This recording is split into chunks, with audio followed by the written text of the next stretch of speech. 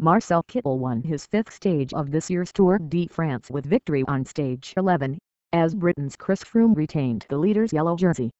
Poland's Maciej. Bodnar was caught in the final 300 meters in Pau, having led for the rest of the 203.5 kilometer route. German Kittel surged past his rivals, with Dutchman Dylan Groenewegen second and Edvald Boasson third. Froome leads by 18 seconds overall from Italy's Fabio Aru and is 51 seconds ahead of Romain Bardet in third.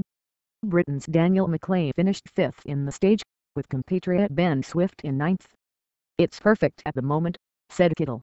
The race for the green jersey is not over but I've used all my chances that I've got so far. Quick-step rider Kittel was the firm favorite to win in Pau, having claimed his fourth stage in imperious fashion on Tuesday. Once again the 29-year-old German had enough time to raise his arm aloft, signifying his five-stage wins, as he coasted over the line, his rivals only able to draft in behind him.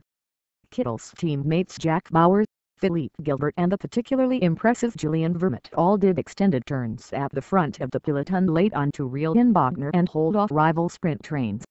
When you're on your top level as a sprinter, it's like playing Tetris and you're just trying to find the gaps, said Kittel.